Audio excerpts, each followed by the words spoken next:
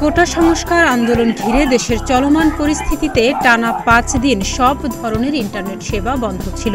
অবশেষে মঙ্গলবার রাতে সীমিত পরিসরে ব্রডব্যান্ড ইন্টারনেট সেবা চালু করা হয়।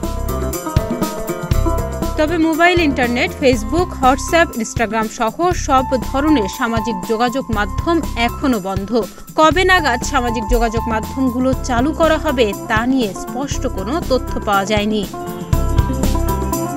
অন্যদিকে মোবাইল ইন্টারনেট শিগগিরই চালু করার ইঙ্গিত দিয়েছে বাংলাদেশ টেলিযোগাযোগ নিয়ন্ত্রণ কমিশন। মঙ্গলবার রাতে বিটিআরসির চেয়ারম্যান প্রকৌশলী মহিউদ্দিন আহমেদ গণমাধ্যমকে জানান, প্রথমে সরকারি হাসপাতাল, ওয়াসা, ডেস্কো এবং ব্যাংকগুলোতে ইন্টারনেট সেবা চালু করা হয়েছে।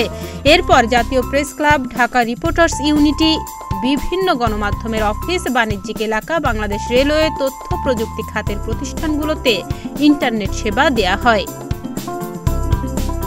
মোবাইল ইন্টারনেট চালুর বিষয়ে বিটিআরসির চেয়ারম্যান বলেন, বুধবার মোবাইল ইন্টারনেটের বিষয়ে সিদ্ধান্ত নিতে বৈঠক হতে পারে।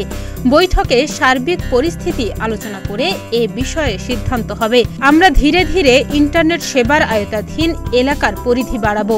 শিগগিরই সার্বিকভাবে পুরো ইন্টারনেট সেবা চালু হবে। মঙ্গলবার ডাক, টেলিযোগাযোগ ও তথ্য প্রযুক্তি প্রতিমন্ত্রী জুনায়েদ আহমেদ পলক ইন্টারনেট সেবা চালুর ইঙ্গিত দেন। তার আগে প্রতিমন্ত্রী ইন্টারনেটের অপব্যবহার এবং ডাটা সেন্টারে হামলা নিয়ে কথা বলেন।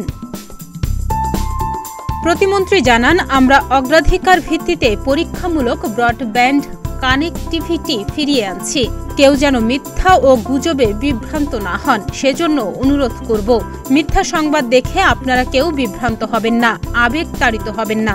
মূলধারার গণমাধ্যমগুলোর সংবাদকে প্রাধান্য দিতে হবে। সেগুলো সবার আগে জনগণকে গ্রহণ করতে হবে। গত আঠারো জুলাই রাত আনুমানিক নয়টা পর্যন্ত ব্রডব্যান্ড ইন্টারনেট বা ওয়াইফাই সংযোগ চালু ছিল। এরপর সেটি পুরোপুরি বন্ধ হয়ে যায়। এ ঘটনা ঘটে মোবাইল ইন্টারনেটের ক্ষেত্রেও।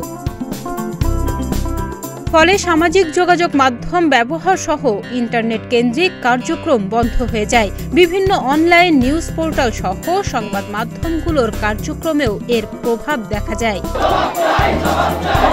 ডেস্ক রিপোর্ট, প্রতিদিনের বাংলাদেশ।